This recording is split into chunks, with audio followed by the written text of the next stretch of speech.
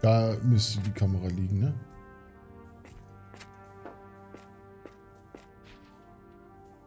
Hm, die Kamera ist hier wohl reingefallen. Also dann. Ach, guck, jetzt geht's auf einmal.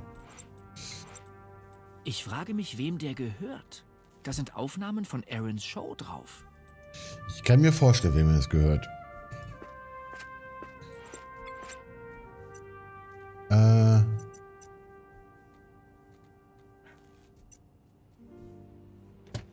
Wir kurz dahin.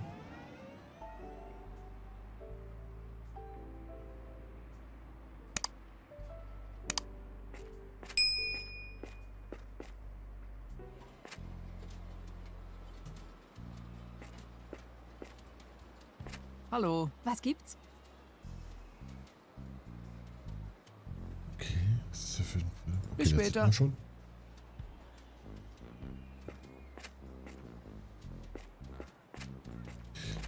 Warte, warte, bitte nicht durcheinander bringen.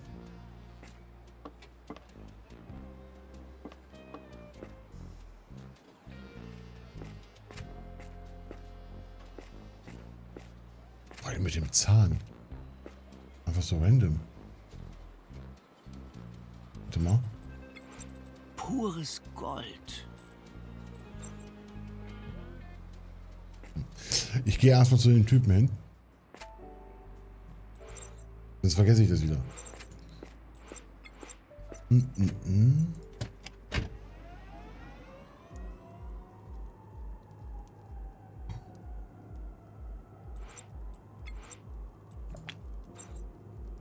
CB, ich hab hier was für CB. dich. Schau dir das an.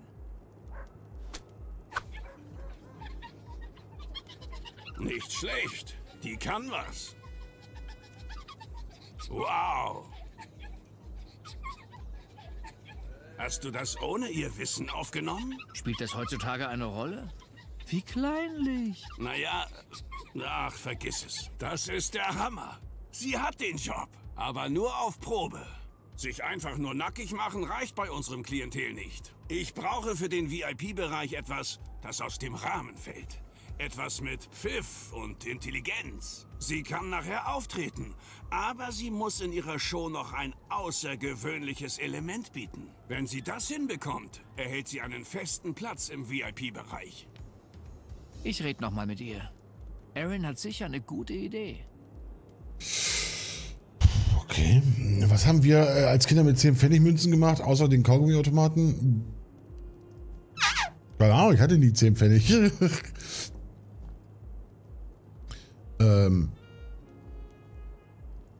Gegen die Wand geschnipst, würde ich jetzt sagen. Ja, wir haben die immer früher gegen die Wand geschnipst. Und wer am nächsten an der Wand war, hat das Geld bekommen, was da lag.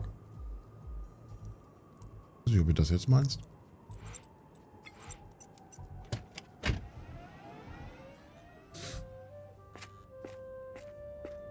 Auch, aber nein. Was hat man sonst mit 10 Pfennig gemacht? In die Nase gesteckt?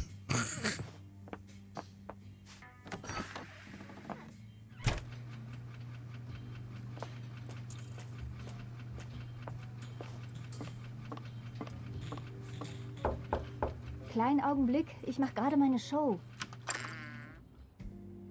Auch, aber nein. Okay. Hey, Aaron. Was gibt's? Aaron, ich habe großartige Nachrichten.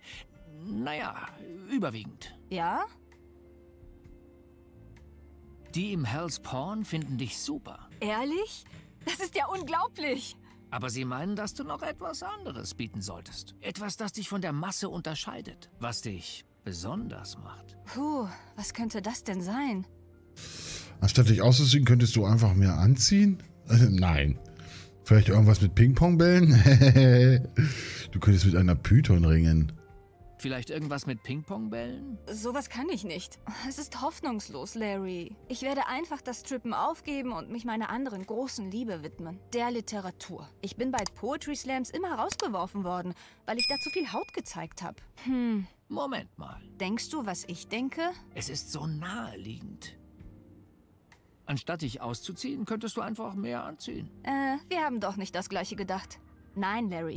Ich kombiniere Literatur und Strippen. Klar, das geht natürlich auch. Striptease und Lesungen aus meinen liebsten Büchern. Aber es gibt noch ein Problem. Um richtig Eindruck zu hinterlassen, brauche ich dafür ein ganz bestimmtes Buch. Der geschickte Züngler von Alfred Kissler. Das ist sehr selten und eigentlich kaum noch zu bekommen. Ich habe ein Exemplar, aber nicht hier in New Lost Wages. Keine Sorge, ich halte die Augen danach offen. Habe ich nicht so ein Buch?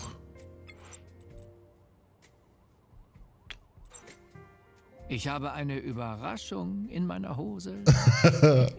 Ist es das, was ich denke? Nein, es ist das Buch, das du wolltest.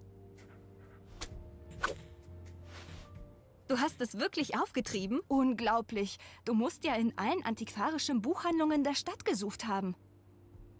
Für dich ist mir nicht zu viel, Baby. Ich habe es aus einer Hipsterbar geklaut.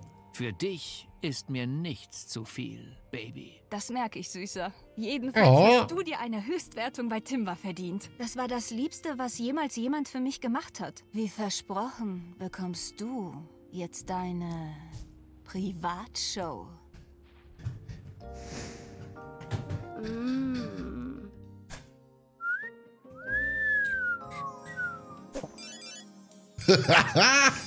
Junge, hat er Nasenbluten gehabt? Danke, Warte mal, hat er Wir sehen Nasenbluten uns gehabt? nachher im Hell's Porn zu meiner Show. Hey Pi, wie viele Timberpunkte habe ich denn jetzt? An die 60 müssten es doch wohl sein. Du hast elf Timberpunkte. Sicher, dass da hinten keine Null fehlt? Sicher. Uff. Ich will wissen, warum er Nasenbluten hatte.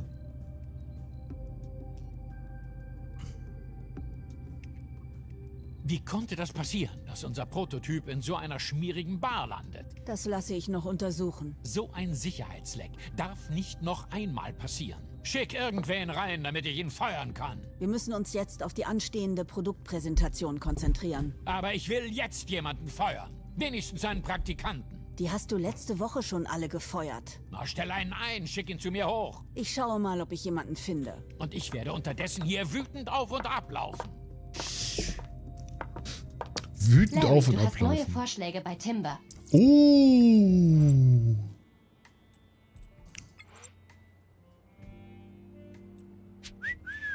Er ist immer noch hübsch, oder?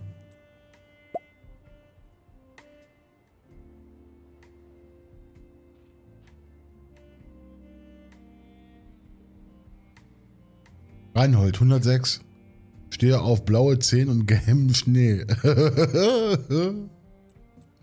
ja. Becky, da haben wir Becky. Beim Arzt ist sexy Teen sucht dich. Bin nur hier, um meinen Freund zu stalken. ich mach einfach mal allerdings. I really don't care, do you? Ivana Hump 32, die sieht nicht so geil aus. Suche nach einem. Was für meinen Pinsel? ah, hier ist der Fisch. Oh Gottes Willen. Der Drachenlord. Wie ist sein WLAN-Passwort? Ich spüre nämlich eine Verbindung.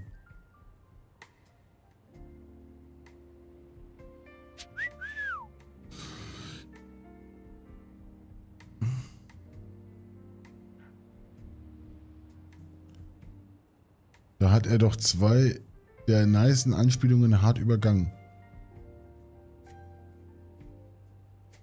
Welche?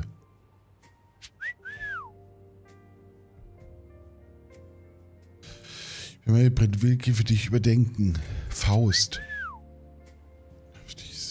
DDV 19. Petra Pur 24. Ich habe mehr als eine. Anita, ah, die kennen wir ja, glaube ich, schon. Ja, ja. Den, der war letztes Mal auch schon drin. Die glaube ich auch. Die auch.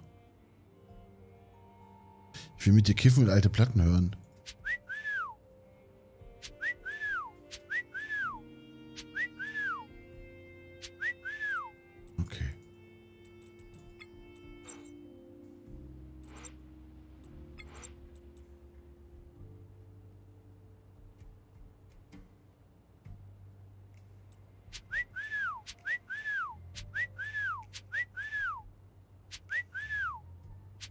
Stimmt jetzt, ja, ja. Ja, ja, warte.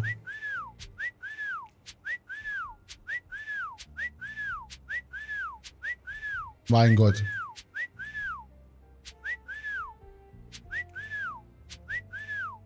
Ivana Hamp. Da war sie.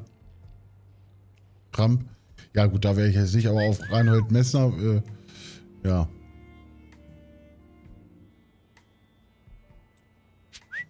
Okay, ja. okay, gut.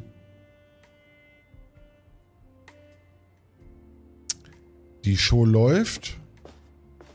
Aber ich weiß immer noch nicht, was du jetzt mit den 10 Pfennig da meinst.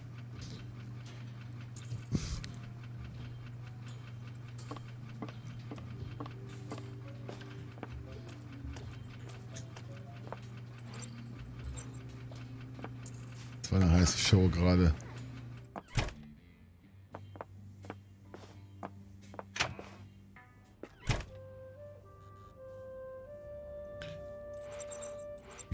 Ad?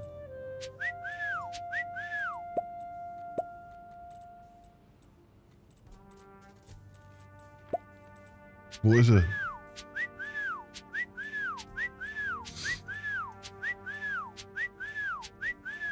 Suchen kann man die so nicht, ne? Man muss durch.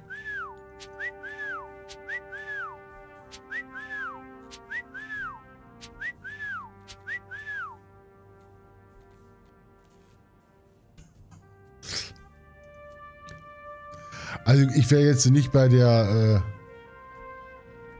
Äh nee, die Einspielung wäre ich jetzt nicht so drauf... Oh, nein!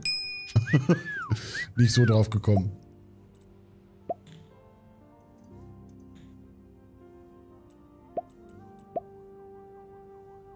Rockröhre. Ich will sie haben. Sie finde ich schön.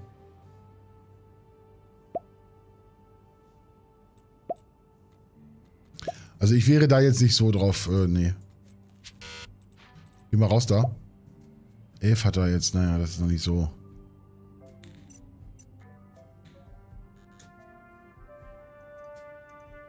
Okay.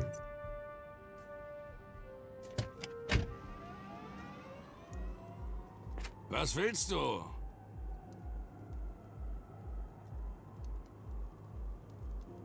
Ich komme später wieder. Kann ich die Gitarre jetzt nicht... Hey, Pfoten! Mein Gott. Gib mir doch diese scheiß Gitarre.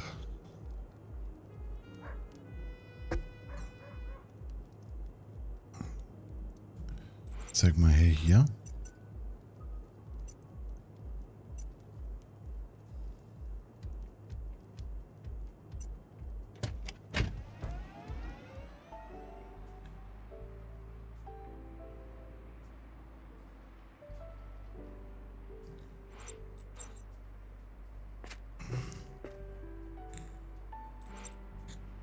Wo die Gitarre gekauft hat.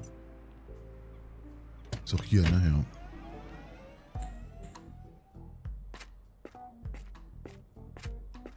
Weil kauft er die Gitarre im Sexshop.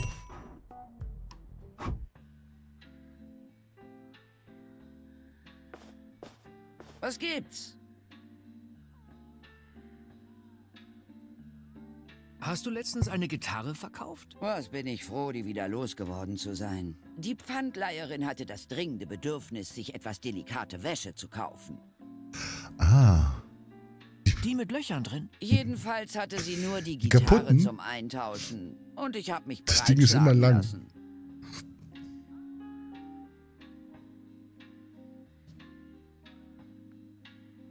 Beeindruckende Auswahl, gnädigste. Ich gehe davon aus, dass du alles auf Herz und Niere getestet hast. Beeindruckende Auswahl, gnädigste. Ja gut, Ich gehe davon aus, dass du alles auf Herz und Nieren getestet hast. Hm?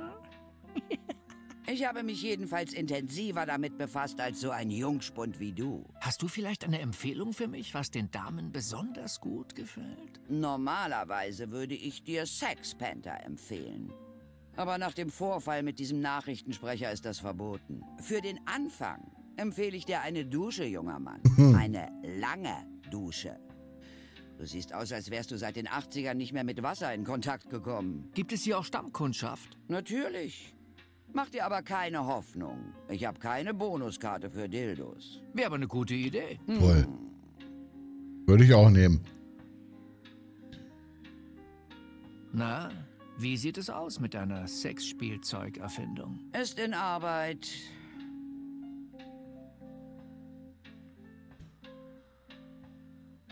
Okay, nochmal kurz Hast du Gitarre. letztens eine Gitarre verkauft? Was bin ich froh, die wieder losgeworden zu sein. Die Pfandleiherin hatte das dringende Bedürfnis, sich etwas delikate Wäsche zu kaufen.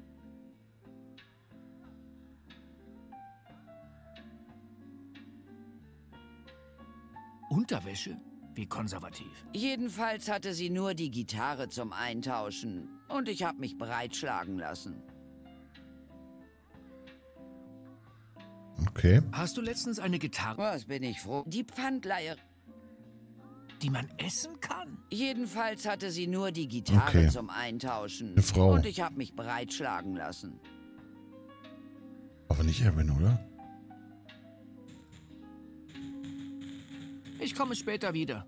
Nicht wegsterben. Ich sehe rüstiger aus als du. Nicht Seine wegsterben. Und sein Blutzucker sind auch echt mies. Ähm, warum hat die drei Brüste? Ich muss ja auch noch einen Ort finden, um Fotos zu machen mit ihm, ne? Hey, Larry. Ich habe eine Idee, wo wir das Foto schießen können. Na dann schieß mal los.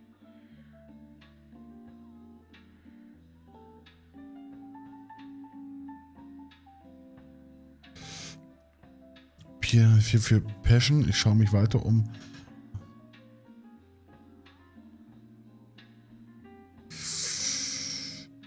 Das mit Lefty Spa? Nein.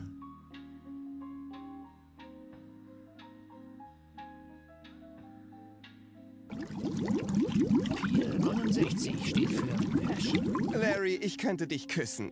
Das Licht dort ist um diese Zeit perfekt. Bald ist die goldene Stunde. Oh, dann nichts wie los. Du bist ja stürmisch. Der Ort weckt in mir leider einige Hallo, traurige Amy. Erinnerungen.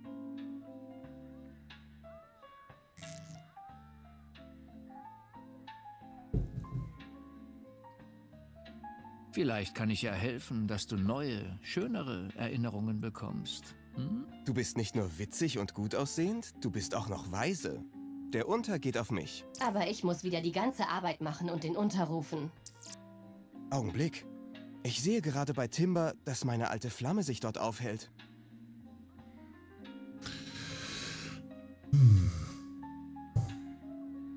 Hm, Ich kann dir helfen, die Begegnung möglichst angenehm zu gestalten. Es ist komplizierter, als du denkst. Bevor meine alte Liebe nicht dort abhaut, habe ich heute leider kein Foto für dich. Dann sorge ich mal dafür, dass sie von dort verschwindet.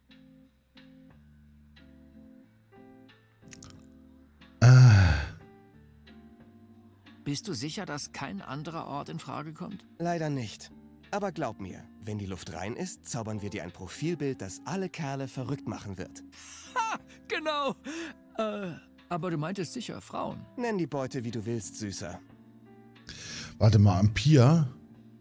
Wir sehen uns später. Come inside. Super. Am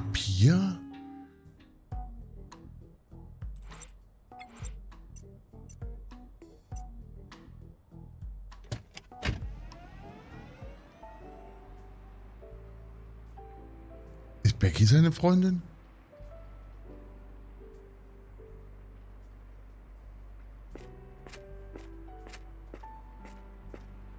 Hallo Becky. Hallo Becky. Hallo Becky.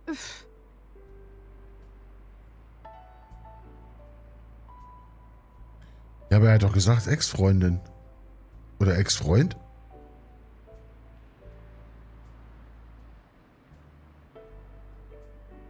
Bis später. Ich auf dem Schlauch. Aber es sind immer so viele Sachen, die man hier gleichzeitig macht.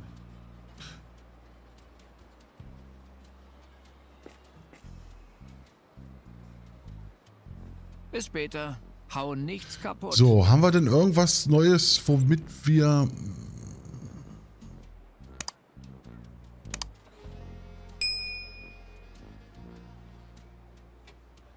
Nur gesagt Ex.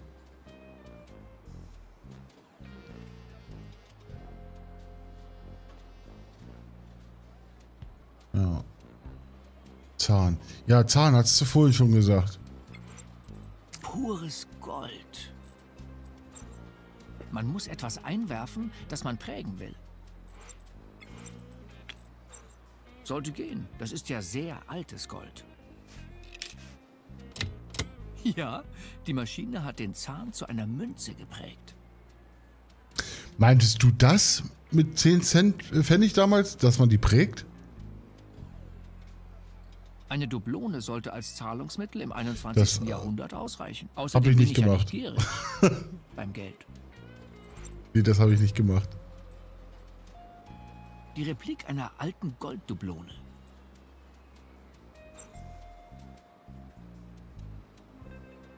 Jetzt überlege ich nur, was war, was war denn letztes Mal?